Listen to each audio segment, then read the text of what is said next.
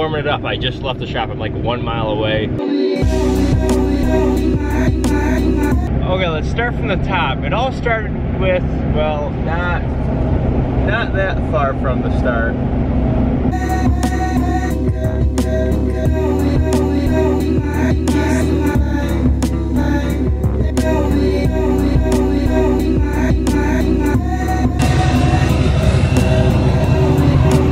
My start with this truck started in Florida about two years ago. So I flew down to Florida with the intentions of purchasing my truck. Now I don't have a video of that, but I do have one picture.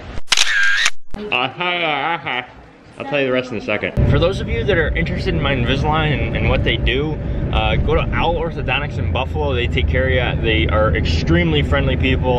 Uh, the most friendly I've ever spoken in my life. So if you want to start out the 2018 year with straighter teeth, check them out. Okay, now I need to find a car wash. So when I flew down to Florida, I learned two things. One, I got clickbaited, and two, well, traveling without a vehicle is difficult. Saying that, I, I was kind of suckered into buying this truck. So my brother dropped me. That was quick. My brother dropped me off at the New York Buffalo Airport.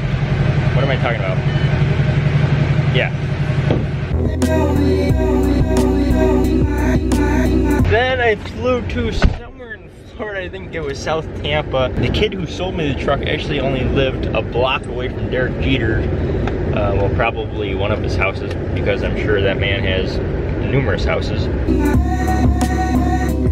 Can you believe a YouTuber getting clickbaited or view baited, even though I don't think I've ever heard of that? 3D Machines just created it. Now, don't get me wrong, I'm a YouTuber, and if I see clickbait, that does happen because I watch YouTube videos just like you do.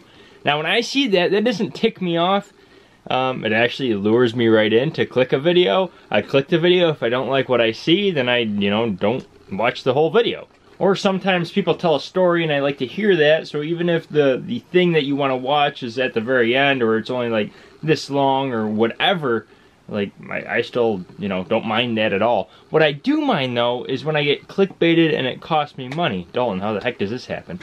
Well, it's very easy. You go on Craigslist.com or Facebook and you go to buy something and they have nice pictures of this item that you want to buy. Well, when I went to buy my Duramax in Florida, the pictures of the truck were, were excellent, and he said there was a little rust on the truck, and I'm like, okay, this is perfect. I live in New York State. There's a lot of rust here. Every every vehicle, even if it's like two or three years old, it has rust. And I asked him if there were any issues with the truck because he was like, you know, a couple thousand miles away from me. I wanted to make sure that everything was safe and sound, that I could fly down there and drive it home. He says, yeah, there's absolutely no problems with it. Um, it's got a little bit of rust, it's got a little bit of paint chips missing. Well, when I got down there, the whole hood was peeling, the whole roof peeled. Don't get me wrong, when he picked me up at the airport, the truck sounded amazing from a far distance or a far glance. It looked amazing. Then he pulled up and it looked like a huge pigeon took a massive on the hood. Then a couple months passed, and then uh, my cousin and I figured that we could paint the truck. Some people thought it was a huge mistake. I thought it was really fun and I learned a lot. One of the most difficult but beneficial things in life is to not care what people think. Anyways, any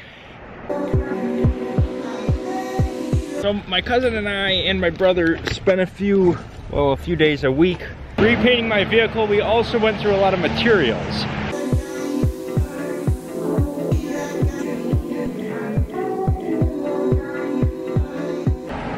And then unfortunately, after that job, I had a deer. But that's okay because that's why I have insurance. The insurance took care of a lot of this. I just had to pay a deductible. Now we're gonna wash it off and show you what the final paint job of this beautiful Duramax looks like.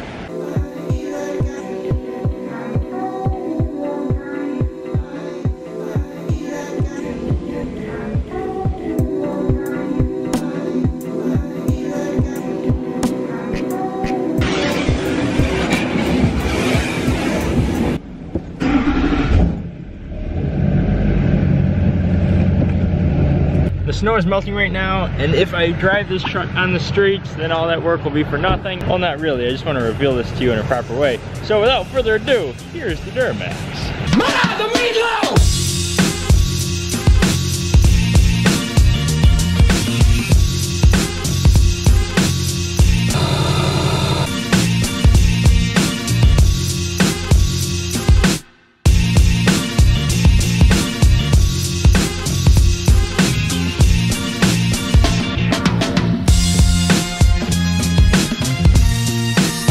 Out excellent. Like I said, the snow is melting right now, so all the roads, well this one's a little dry, but my road is completely wet. This is going to be a dirty, messy machine once I get it home, so I hope you guys enjoy the Duramax reveal. And now that I revealed the Duramax, I want to tell you guys that machine decals like the one I have on my windshield are now available on machinemerch.com. Same color, same quality, they do not peel off. I missed this thing, what can I say?